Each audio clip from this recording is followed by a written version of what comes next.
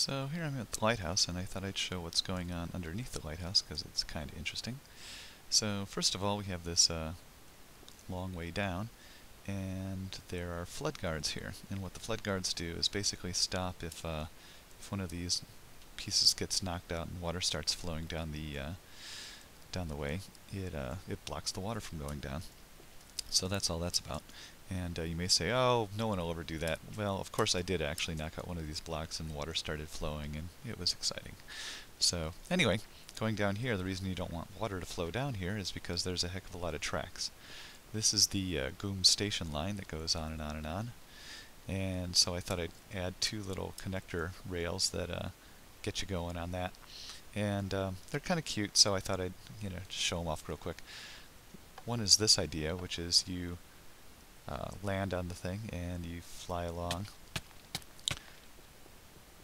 And uh, the key thing here with this design I found is that you kind of have to open it up. You really do have to knock out a bunch of blocks nearby so that they're, the uh, the thing can just fly and land on these these rails and continue on.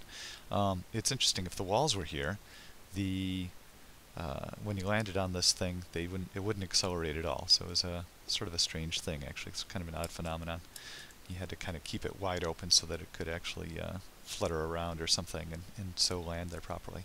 Um, so this one's another one.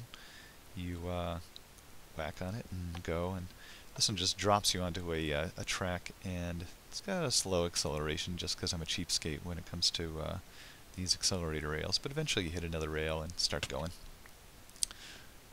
And so that's about that. Um, about the only other interesting thing here is uh, let's see. Oh yeah, it's just going down here. This is this is worth your while. I will cut when this thing uh, when we get to this place. So here we are at bedrock level. You can see it's all black ahead of us until you get into the amazing, ooh, interesting lighting effect. that is bizarre. Check it out. Get close, and then as you look in different directions, I don't know. Anyway, the lighting's pretty wild down here. This is the big dig. And uh, anyway, you can see that it's kind of freaking out between being at the bedrock level where the lighting gets really dim. And uh, I guess it's if I look down. If I look down now, I don't know what it is. Anyway, very strange uh, lighting effects as you can tell.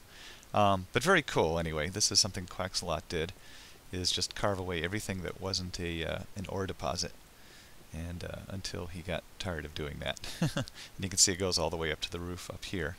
Anyway, I thought that was worth revisiting, um, especially with the funky lighting effect. So that's about all. Bye now.